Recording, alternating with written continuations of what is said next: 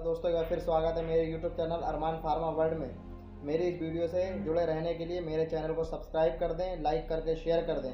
क्योंकि दोस्तों, मुझे आपके सपोर्ट की बहुत ज़रूरत है। मेरे चैनल को सब्सक्राइब करें ताकि आपके पास सबसे पहले मेरी वीडियो पहुँचे।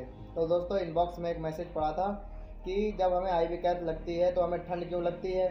और हमें खाने के लिए क्यों नहीं दिया जाता है? मत खाना हमें, खाना खाने की सलाह क्यों नहीं देता है? आई कैद लगने के टाइम तो दोस्तों, मैं इस वीडियो में बिल्कुल आपको क्लियर कर दूँगा। तो ऐसा होता होता ऐसा है कि जब हमें सबसे पहले बात तो मैं ये बताऊँगा कि हमें खाना खाने की सलाह क्यों नहीं देते हैं डॉक्टर? क्यों मना करते हैं? क्योंकि जब हमें आई कैद लगा होता है तो जो आई कैद में फ्लूड होता है आईवी मतलब एन एस है डी एन एस है आर एल है जो भी फ्लूड होता है, ये जो भी आई कैद इन्फ्यूज़न होता है जो हमारी बॉडी में लगा होता है, जो हमारी बॉडी हमारी बॉडी जो अंदर लेती है, अपनी बॉडी में प्रेजेंट करती है तो वो हमारी भूख की या एनर्जी की रिक्वायरमेंट वो इन्फ्यूज़न ही पूरा कर देती है।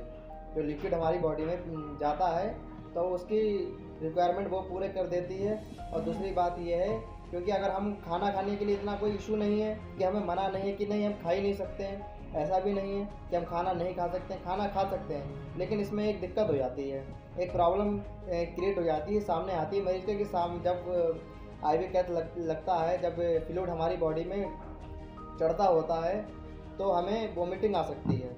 और हालाँकि अगर कोई खाना खाता भी है तो वोमिटिंग आ ही जाती है। तो दोस्तों दूसरा क्वेश्चन ये था कि हमें ठंड क्यों लगती है? एक्चुअली होता ऐसा है कि हमारी बॉडी का जो मेन टेम्परेचर वो होता है सैंतीस डिग्री सेल्सियस। जी हाँ सैंतीस डिग्री सेल्सियस।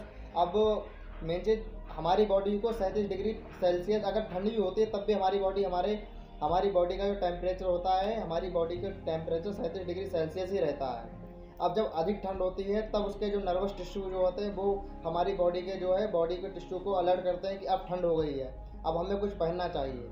अच्छा कभी कभी ऐसा होता है कि हमारी बॉडी में जो ठंड लगती है, और जब ठंड लगती है, क्योंकि ऐसा होता है कि अगर कोई भी आई भी कैद लग रही है, चढ़ रही है भी कैद चल रही है और स्पीड में चढ़ रही है वो तो उसका जो पानी जो होता है, फ्लूड होता है, वो ठंडा होता है। और ये ऐसा तो है नहीं कि दस पाँच मिनट में ये घंटे लग जाते हैं इन्हें चढ़ने में तो जो उसका फ्लूड होता है, वो ठंडा होता है और वो हमारी बेन में जाता है। और बेन का जो कांटेक्ट है, वो डायरेक्ट हार्ट से है, क्योंकि हमारी जो बॉडी का जो भी नसों में जो भी क्या जा रहा है, फ्लूड जो है हार्ट जो है हार्ट पंप करता रहता है तो बिल्कुल, जब हमारी जो फ्लूड जो है हमारे हार्ट तक जाता है तो हमारी बॉडी को हल्का सा ठंड सी महसूस होती है।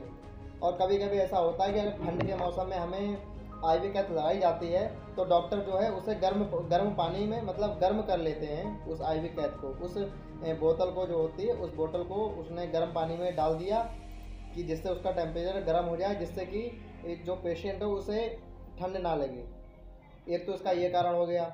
और दूसरा कारण ये है कि दूसरा कारण ये है कि हमारा जो ब्लड जो होता है ब्लड गर्म होता है। और वो जब उसके पास में एक नई चीज़ होती है तो वो अवशोषण नहीं कर पाता एब्जॉर्बेशन उस ठंडे को जल्दी एब्जॉर्बेशन नहीं कर पाता है, तब हमें ठंड लगती है। तो दोस्तों, आपको समझ में आ गया होगा कि हमें खाने के लिए क्यों नहीं मना जाता है। खाने खाना, हालाँकि हमें खाना खा सकते हैं, इतना बड़ा इशू नहीं है। वैसे में क्या, क्योंकि जब बहुत ही ज़्यादा क्रिटिकल प्रॉब्लम पोजीशन आ जाती है, तभी हमें आई कैथ लगती है। वैसे हम नॉर्मल नॉर्मल मेडिसिन से भी ठीक हो सकते हैं। क्योंकि जब नॉर्मल मेडिसिन से ठीक हो जाते हैं तो आई वी कैद लगाने की ज़रूरत ही नहीं है। जब ज़रूरत तब पड़ती है जब हमारी प्रॉब्लम जब हमारी बॉडी में ज़्यादा डिज़ीज़ अपने पावर बढ़ा देती है। तो हमें उसे एनर्जी प्रोवाइड करने के लिए हमें आई वी कैद लगाया जाता है। जब आई वी कैद लगाया जाता है तो ज़ाहिर सी बात है हमें खाना डॉक्टर इसलिए मना करता है कि अगर हम खाना खाएँगे, क्योंकि हमें जो रिक्वायरमेंट चाहिए फ़ूड से हमें क्या प्राप्त होता है? कार्बोहाइड्रेट है कैल्शियम है टोटल मिला के पावर हमें पावर मतलब एनर्जी प्राप्त होती है। और एनर्जी हमें क्या दे रही है? हमें जो फ्लूड जब मिल रहा है फ्लूड में हमें बी कॉम्प्लेक्स होता है या एंटीबायोटिक्स है सेपेक्सोम है पेंटाप है, वो हमें जो फ्लूड चढ़ रहा है, वो हमें एनर्जी प्राप्त कर रहा है। अब एक फ़ूड तरफ़ से हमें एनर्जी मिलेगी, एक फ्लूड तरफ़ से मिलेगी।